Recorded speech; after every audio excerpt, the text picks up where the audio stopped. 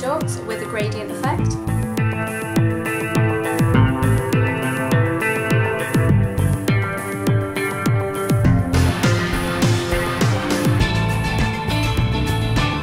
What you'll need is denim of a light colour. If the denim you have isn't a light colour, click here and it will take you to a video of how to lighten denim. Gloves, water, a plastic bag and dyes. These are the dyes I'm using. I got these from eBay. They were just the first ones I found. They come with 12 sachets of dye and 6 bottles. It's really easy. All you have to do is fill these bottles to the top with water, give them a shake and you're ready to dye. I'll leave a link in the description below of where you can buy these.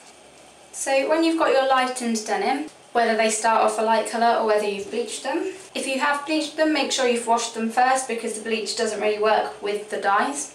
As always, when you're using dye, you need to wear gloves to protect your hands. To do this gradient effect, I'm going to be using two colours, purple and blue. I'm going to start with the darkest colour, which is purple. You can work with wet or dry shorts. Mine are damp. I prefer to work with damp. I feel like the dye sets better and it's easier to work with. So first you want to mix your dye and to mix this type of dye you fill the bottle up to the top line and then shake it to mix the dye into the water. And then when you've done that you're ready to start dyeing. To make this gradient effect I'm going to start at the bottom using the darkest colour because that's where the colour needs to be strongest. I'm just going to pour it straight out of the bottle onto the shorts.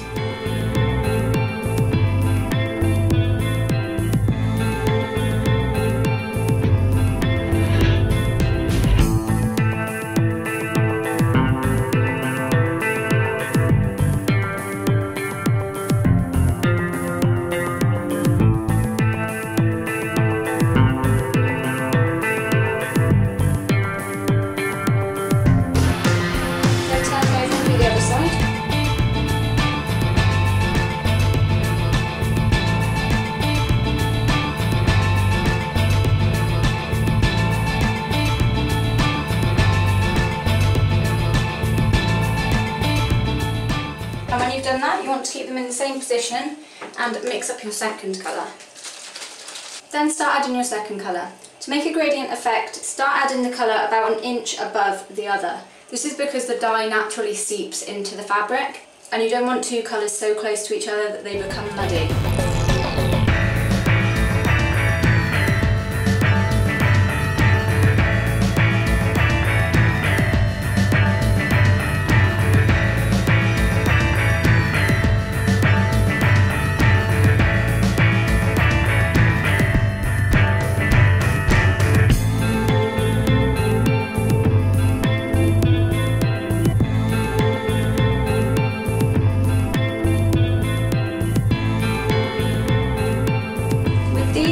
Leave the waistband bleached. You don't have to do this, you can do it all the way to the top, but I'm going to leave them bleached. Then turn them over and do the same on the other side.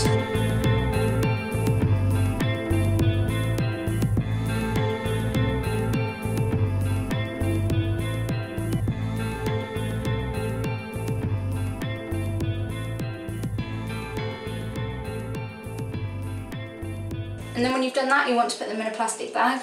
I would recommend bin bags because it's definite that they don't have holes in. Then fasten the top of the bag with a knot or a rubber band to make sure that the shorts don't dry out. When you've done that, leave them to sit for 8 to 10 hours. You can even leave them longer. I always leave them longer just to make sure that the dye is really sunk in.